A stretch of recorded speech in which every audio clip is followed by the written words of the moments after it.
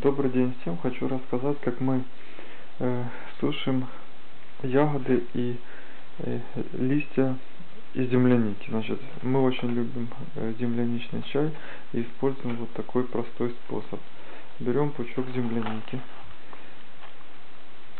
связываем его, вот она спелая, вот связываем таким образом и от сверху одеваем колпак из бумаги.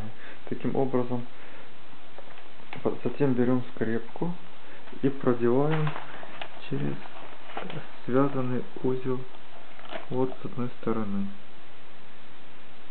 Вот видите, скрепочка ушла. Ее разогнули, связали пучок и одели колпак. Вот. Таким образом можно подвешивать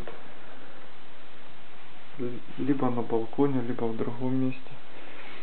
Вот там, где у вас она будет сушиться. И через несколько дней мы получаем сухие ягодки земляники вместе с листиками.